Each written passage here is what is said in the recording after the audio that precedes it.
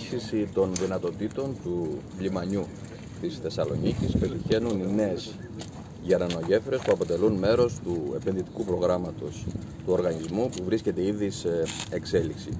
Η υλοποίηση του συγκεκριμένου προγράμματος αναβαθμίζει το ρόλο του λιμανιού της Θεσσαλονίκης όχι μόνο σε επίπεδο εμπορικής κίνησης αλλά και σε επίπεδο γεωγραφικής και γεωπολιτικής ε, αξίας στην ευρύτερη περιοχή της νοτιοανατολικής Μεσογείου.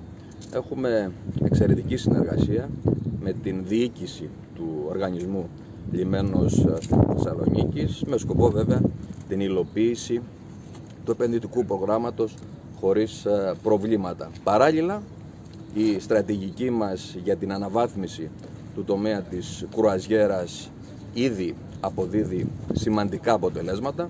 Το λιμάνι της Θεσσαλονίκης είναι πλέον λιμάνι home port με πολλά και σημαντικά ωφέλη για την τοπική οικονομία και την τοπική κοινωνία.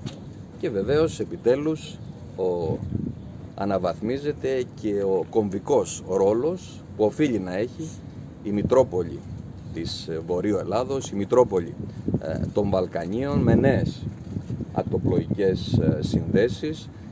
Ε, συνεχίζεται και φέτος η ακτοπλοϊκή σύνδεση Θεσσαλονίκη με τις Ποράδες κατά τη θερινή περίοδο, όπως επεκτείνεται και κατά τη διάρκεια της θερινής περίοδου η σύνδεση της Θεσσαλονίκης με τη Λίμνο και με, τη Λίνη, ενώ ε, εγκαινιάζεται εντός του Ιουλίου μια νέα γραμμή που θα συνδέσει τη Θεσσαλονίκη μέσω της Μυτιλίνης με τη Σμύρνη.